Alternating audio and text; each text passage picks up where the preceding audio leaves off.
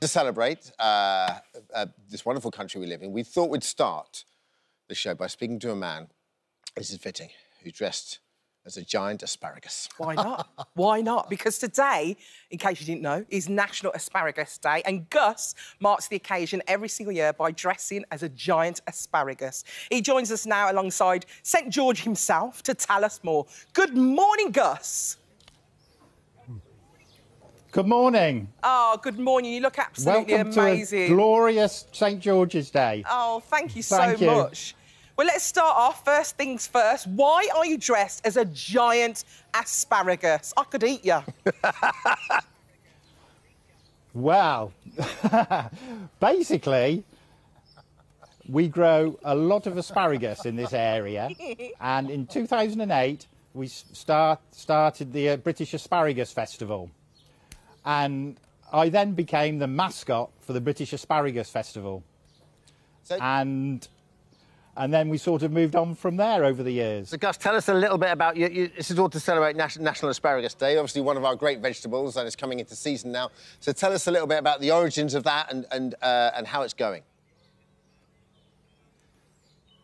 Yeah, well, it, it, it started today. They start with the, this is the first of the outdoor grown Vale of Evesham asparagus, which is, this is the cut of the crop.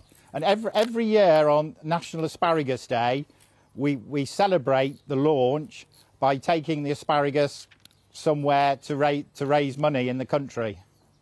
And what's lovely is that for every first batch that you get, you always donate it, don't you? You donate it to Buckingham Palace, you donate it to local charities. it- it- what are you doing this year, Gus?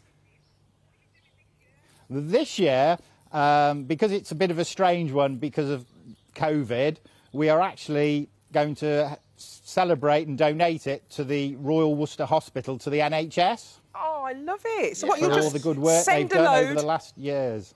you'll just send a load and then they can just choose how much they We've want.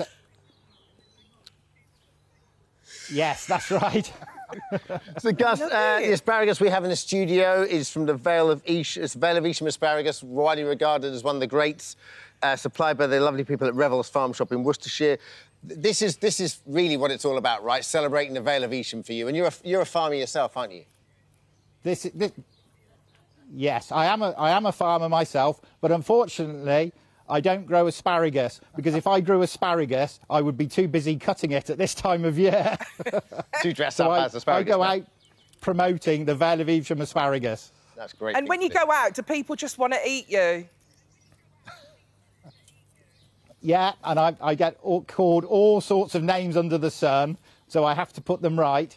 But when they know what I'm doing, they're very understanding and they all want to try some Vale of Evesham asparagus. Uh, Gus, uh, you have St George with you there, obviously St George's Day, and you'd quite like your your sort of mission is to almost combine the two and make asparagus our national vegetable. That's right. Uh, and the We emblem like of to St George's us- Day.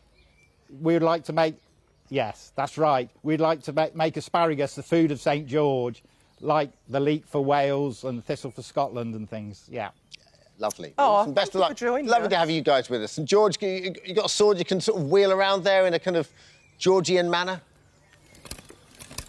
There he is. Look at him go. Oh, that's skills. Wonderful He's got stuff. skills. Thank you, guys. Thank you so much.